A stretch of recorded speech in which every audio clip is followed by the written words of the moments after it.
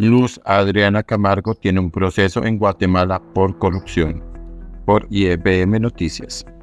En las últimas rondas de votación para la elección de fiscal por parte de la Corte Suprema de Justicia, Luz Adriana Camargo se ha convertido en la más opcionada para ocupar el alto cargo.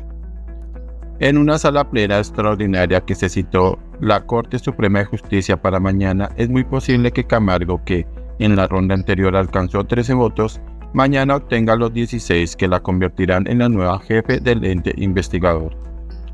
Lo anterior tendría una complicación internacional.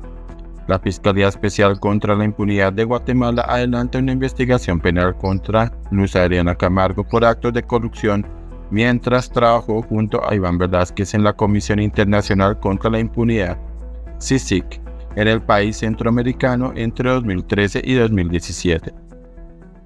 El ente investigador del país centroamericano acusa a Velázquez y Camargo de hacer acuerdos de cooperación anómalos con directivos de la multinacional brasilera Odebrecht.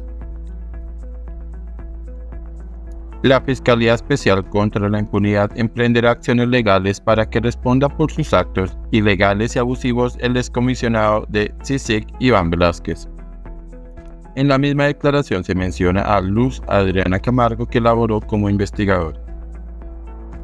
Sería muy complicado a nivel internacional para Colombia que el ministro de Defensa y la posible fiscal general de la nación estén investigados por un Estado por presuntos actos de corrupción.